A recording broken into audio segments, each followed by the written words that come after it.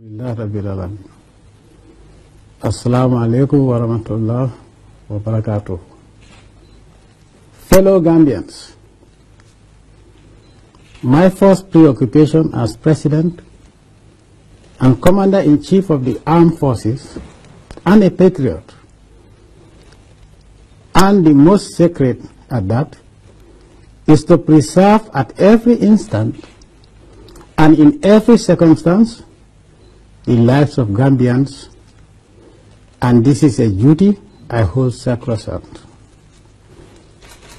I have always strived for peace and security of our nation and Africa.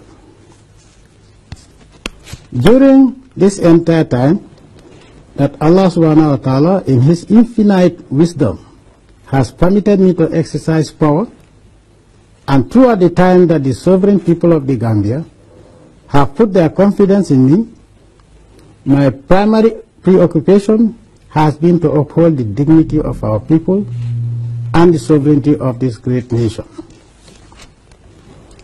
As a result of all the numerous sacrifices that we and those before us have made as a nation, the Gambia has affirmed its desire to determine its own future and destiny. This is a cause I have always been ready to defend and even with my life. All the actions we have taken towards building this nation up to this point have distinguished us among the community of nations and given us a pride of place in history. All this while, as a Muslim and a, and a patriot, I believe it is not necessary that a single drop of blood be shed.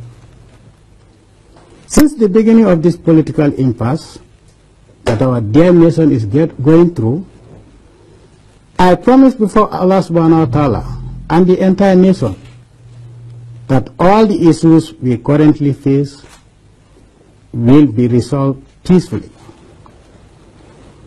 I am indeed thankful to Allah subhanahu wa ta'ala up till now, not even a single casualty has been registered. I believe in the importance of dialogue and in the capacity of Africans to resolve among themselves all the challenges on the way towards democracy, economic and social development. It is as a result of this that I have decided today, in good conscience, to relinquish the mantle of leadership of this great nation with infinite gratitude to all Gambians, women, children, youth and men, and friends of the Gambia who have supported me for 22 years in the building of a modern Gambia. I put above all and everything the independence of the free and proud people of the Gambia, and I will always, together with you, defend this independence that we so dearly fought for and won. My decision today was not dictated by anything else but by the supreme interest of you, the Gambian people, and our dear country. Taking into consideration my prayer and desire that peace and security continue to reign in the Gambia. At a time when we are witnessing trouble and chaos in other parts of Africa and the world, the peace and security of the Gambia is our collective heritage, which we must jealously guard and defend. I am proud and honored to have served our country, the Gambia. While thanking all of you, men, women, and children, members of the armed and security services, humble citizens, and all those who have supported me or were against me during this period.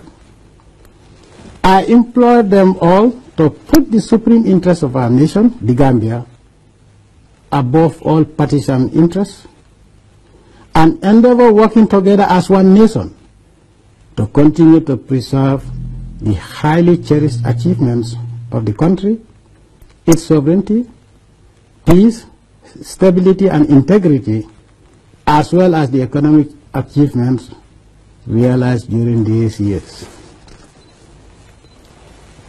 I pray that the Gambia, our homeland, continues to be united and prosperous for the welfare of each and every one of us and be the pride of all. I submit myself only to the judgment of Allah subhanahu wa ta'ala, whose judgment is above and beyond man, time and history. The Almighty Allah subhanahu wa ta'ala is the only guarantor of truth and justice. Finally,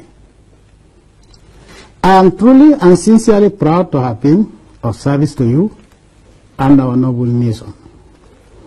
I wish to thank each and every one of the security forces, members of government, present and past, my party militants, and most importantly, you, the Gambian people, and the National Assembly members, past and present, for the confidence vested in me and your loyal support. I pray that Allah subhanahu wa ta'ala continues to light and guide our path and to shower His mercy and blessings on our great and beautiful country.